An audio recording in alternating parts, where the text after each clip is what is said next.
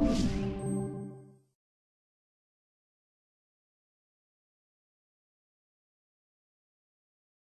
மறைந்த முதல்வர் ஜெயலலிதாவுக்கு வழங்கப்பட்ட சிகிச்சைகள் பற்றி அதிமுக பொதுச் செயலாளராக பொறுப்பேற்றுள்ள சசிகலா தகவல் தெரிவித்து பேசினார். ஜெயலலிதா மறைவால் காலியாக இருந்த அதிமுக பொதுச் செயலாளர் பதவியில் ஜெயலலிதாவின் தோழி சசிகலா இன்று பொறுப்பேற்றுக் கொண்டார். ஓஎஸ் இல்லத்தில் இருந்து மதியம் பன்னெண்டு பத்து மணி அளவில் அவர் காரில் கிளம்பி ராயப்பேட்டையில் உள்ள அதிமுக தலைமை அலுவலகம் வந்தார். எம்ஜிஆர் சிலைக்கு மாலை அணிவித்து மரியாதை செலுத்திய சசிகலா பின்னர் ஜெயலலிதா புகைப்படத்திற்கு மலர் தூவி அஞ்சலி செலுத்தினார். பிறகு அதிமுக பொதுச் செயலாளருக்கான இருக்கையில் அமர்ந்து தனது பொறுப்பை ஏற்றுக்கொண்டார். முதல் பேச்சு. அதிமுக பொதுச் செயலாளராக சசிகலாவை நியமித்து கடந்த வியாழக்கிழமை அதிமுக பொதுக்குழு தீர்மானம் நிறைவேற்றிய நிலையில் அதை ஏற்றுக்கொண்டு சசிகலா இப்பதவிக்கு வந்துள்ளார். இதன் பிறகு கட்சி நிர்வாகிகள் மத்தியில் முதல் முறையாக சசிகலா உரையாற்றினார். அது டிவி சேனல்களில் நேரலையாக ஒளிபரப்பு செய்யப்பட்டது. அப்போது ஜெயலலிதாவின் உடல்நலம் மற்றும் சிகிச்சை குறித்து அவர் பேசியதாவது நான் கனவிலும் கூட நினைக்காத ஒன்று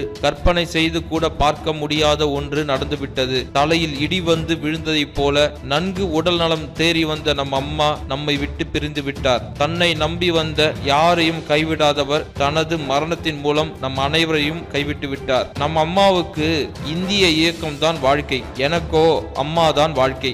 ஆனால் இறைவன் தன் அன்பு மகளை தன்னிடம் அழைத்து கொண்டார். 75 நாட்கள் எவ்வளவோ போராட்டங்கள் நம் அம்மாவை மீட்டுவிட வேண்டும் என்று மருத்துவர்கள் போராட்டத்தோடு கோடான கோடி தொண்டர்களின் ஆன்மீக வழிபாடுகளும் ஒன்று சேர அவை நம் அம்மாவை காப்பாற்றிவிடும் என உறுதியாக நம்பினேன். அதிதீவிர சிகிச்சை பிரிவிலிருந்து தனி அறைக்கு வரும் அளவுக்கு அம்மாவின் உடல்நிலையில் முன்னேற்றம் ஏற்பட்டது. எய்ம்ஸ் மருத்துவர்களை வரவழைத்தும் தலைசிறந்த சிகிச்சைகளை மேற்கொண்டோம். லண்டன் மருத்துவர்களை தொடர்ந்து சிங்கப்பூர் மருத்துவர்கள் பிசியோதெரபி சிகிச்சை தொடங்கப்பட்டது. இன்னும் சில நாட்களில் அம்மாவை பூர்ண நலம் பெற்ற முழுமதியாக போயஸ் தோட்டத்திற்கு அழைத்து வந்து விடுவேன் என்று நான் நம்பியிருந்தேன். அந்த நேரத்தில் அம்மாவின் இதய துடிப்பை நிறுத்தி பத்து கோடி தமிழ் மக்களின் பாசத்தாயை நம்மிடமிருந்து இறைவன் பறித்து கொண்டான். இன்று நாட்டு அரசியலையே தென்னாட்டு பக்கம் திருப்பி காட்டிய தேவதை இல்லாத அரசியல் மாடம் கலையிழந்து நிற்கிறது. எனக்கோ அனைத்தையும் இழந்துவிட்டு நிற்கிற நிற்கதி நிலை. சில நிமிடங்கள் மட்டுமே அம்மாவை சந்தித்தவர்கள் சில வினாடிகள் மட்டுமே அம்மாவிடம் பேசியவர்கள் அம்மாவின் பிரிவில் துடிக்கிறார்கள். அப்படி என்றால் முப்பத்தி மூன்று வருடம் அம்மா அம்மாவிடம் மட்டுமே என் வாழ்நாட்களை கரைத்துவிட்ட